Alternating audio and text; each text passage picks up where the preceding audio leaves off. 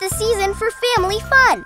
NBC Connecticut and Comcast are lighting up your holidays with the Easter Seals Goodwill Industries Fantasy of Lights. Now through January 6, see New Haven's Lighthouse Point Park sparkle. With thousands of lights and family favorite displays, it's the tradition making the shoreline merry and bright. Put Fantasy of Lights on your list, even check it out twice. Presented by Comcast and NBC Connecticut, partners in a caring community.